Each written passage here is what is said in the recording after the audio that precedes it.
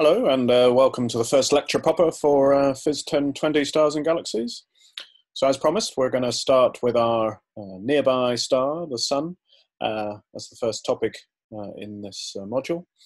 And um, so, today in the lecture, we're going to go through several different aspects. We're going to start just with some basic properties to really give us a feel for some numbers.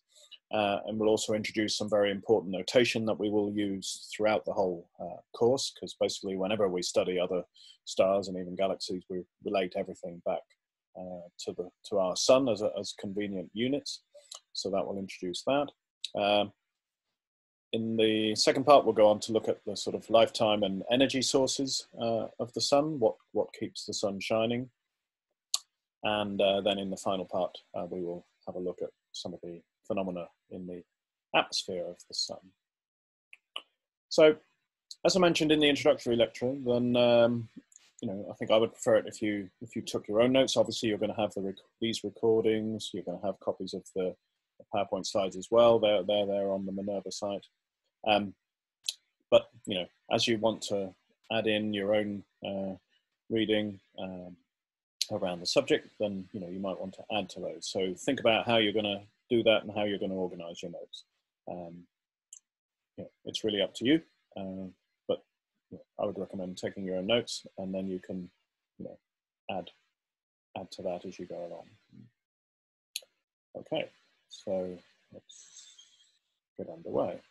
So let's have a look at some of the fundamental uh, properties of this object. So here's a, we're going to start with a picture. Uh, so this is a picture of the sun.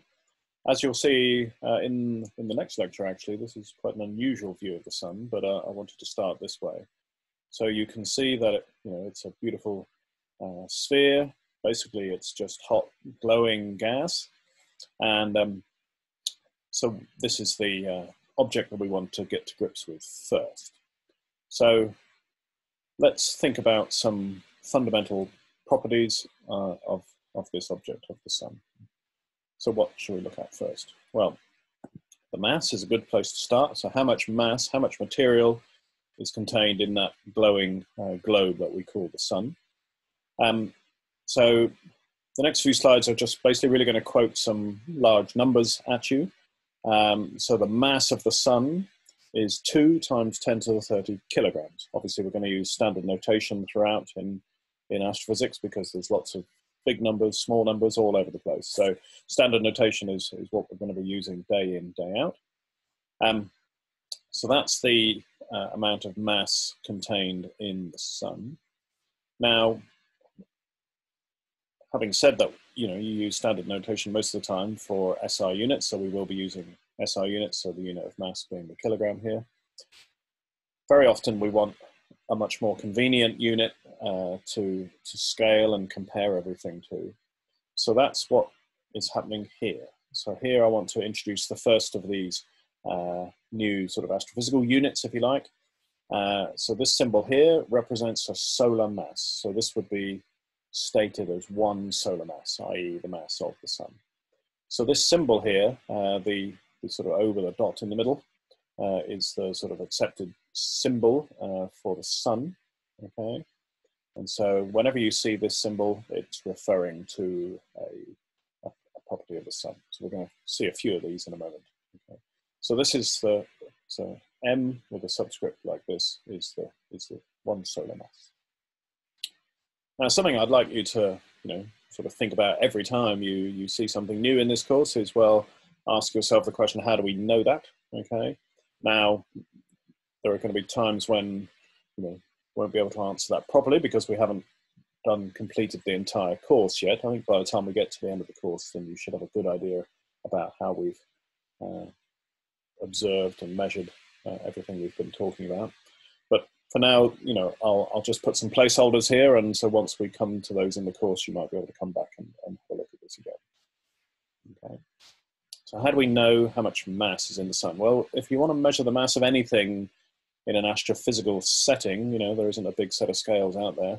Um, the only way you can do it is to use the fact that the mass of an object determines its gravitational influence on another object. Okay. So in terms of the sun, uh, the obvious thing to use are the planets orbiting around uh, the sun, okay, including our own. Okay, so this little GIF animation here shows you uh, the planets orbiting the sun, and they are all kept in place, and their motion is determined by basically by the mass of the sun in the center of the solar system. So obviously this was worked out, uh, you know, several centuries ago now in terms of uh, Johannes Kepler, who worked out um, the sort of mo the motion, the laws that govern the motion of the uh, planets around uh, the sun, and later uh, Isaac Newton came along with his law of gravity, which allowed basically uh, the combination of those two things to really tell you the um, mass of the sun. So we will deal with Kepler's law uh, later in the module when we when we look at you know measuring the mass of other stars. Okay, so the next property we'd like to uh, look at is the distance to the sun. So how far away is the sun uh, from the Earth? So that is 1.5 times 10 to the 11 meters. Okay, 93 million miles in old units, but you know in uh, SI units, uh, 1.5 10 to the 11 meters. And that is also given a special name. It's, it's given uh, the name of 1 AU, and an AU stands for astronomical unit. It's kind of a sort of a strange sort of name, but that's the, the sort of yardstick, if you like, that we would uh, use for uh, measuring the, uh, the distance from the Earth to the Sun. Now the Earth's orbit is slightly elliptical, so this is an average distance, but you know, let's not worry too much about the details. Okay, and so uh, quite often we will we will come back to using uh, uh, the AU, the astronomical unit, as a as a measure of distance. It won't be the most common one we use there.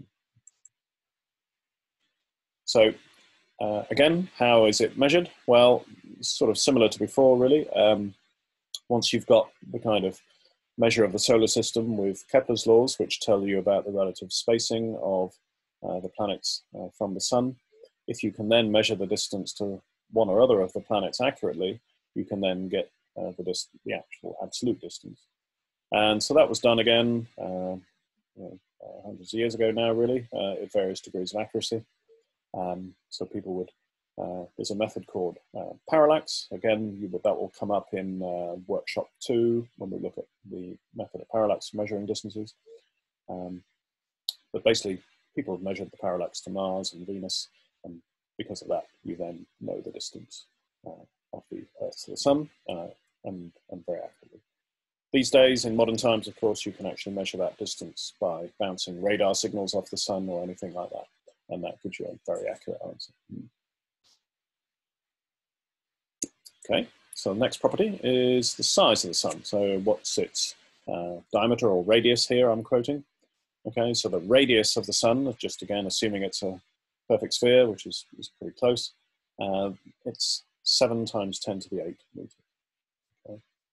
So uh, again, we then uh, introduce a new unit called uh, the solar radius, which is capital R with this uh, subscript behind it. And so this is one solar radius.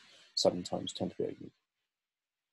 So that's actually fairly easy to measure once you um, once you've worked out the uh, distance to the sun, because it's very easy to measure the uh, angle uh, subtended by the sun on the sky. Um, you can do that just with, well, obviously you have to be very careful not to look at the sun with any optical device, but um, yeah, you can find a way to measure the uh, angular diameter. You can then use that angle, this distance, to work out this actual uh, length in meters. And uh, we will have a go doing this kind of thing in, uh, in workshop one. Okay, so the final property I want to um, give now is something called the luminosity of the sun. So this is really a measure of its power. Okay, so you can see the units are in watts here. So it's the measure of the power in terms of its radiation output. So another way of expressing the watt is uh, joules per second. So how many joules per second of radiation energy is being emitted by the sun okay, every second. And so it's 4 times 10 to the 26 watts. Okay, so that's an awful lot of light bulbs, as you can imagine. Okay, and as you can see again here, we are introducing the, um, uh, the uh, another unit. This is the solar luminosity. And so this is um, measured, uh, or this is just, uh, again, capital L subscript, uh, the O with a dot. And so that is one solar luminosity. So how do we measure the luminosity of the sun? Again, this will become clearer after a few more lectures. Um, but you know, illustrated here, again, you don't need any of this detail at all. This is just for illustrative purposes. Um, so you're not left wondering, you know, but in the lab, you can set up an experiment where you measure the amount of energy coming into a particular device where, where that will actually measure the amount of energy. And then because you now know how far away the sun is, and we know how radiation travels uh, across space, basically an inverse square law comes in there, you can scale that back up to work out the total amount of energy emitted by the sun. Okay, so again, all of these things in brackets and the diagrams, you don't need to worry about the details here at the moment. The, the point of this first part was really to introduce these particular uh, numbers and notations. Again, you won't need to remember any of these numbers. Uh, you'll be able to look them up for any, any assessments and that kind of thing, or it'll be given uh, in the question. Okay, so um, just to get lead us into the next part a little bit, uh, and also to get you active and doing some calculations. Um, we haven't talked about what the sun is made of yet, but uh, to a good approximation, the sun is basically pure hydrogen. Um, now, because it's so hot, it's really pure ionized hydrogen. So with each hydrogen atom has its electron uh, stripped off it. So basically, it's it's just made of protons, if you like. Um, so uh, just have a think. You've got the mass of the sun that I've given you there. Um, if you could, uh, we're going to have a have a break at this point. If you could uh, go away, uh, calculate how many protons uh, are in the sun. Obviously, you'll need to look up a bit of information to do that. And um, on the other side of the break, uh, we'll come back, come back with an answer for that. Okay, so that's the end of the first part, and see you on the other side of the break.